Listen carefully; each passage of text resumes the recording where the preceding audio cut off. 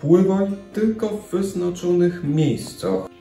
Chroń swoje oczy przed słońcem. Jeżdżąc rowerem zakładaj kasę. Kontroluj czas przed komputerem. Chroń swoje dane osobowe.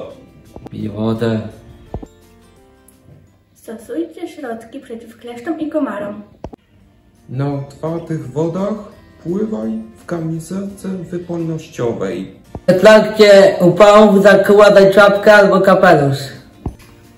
W czasie burzy znajdź bezpieczne schronienie. Jeśli coś cię zaniepokoi, powiadom dorosłych.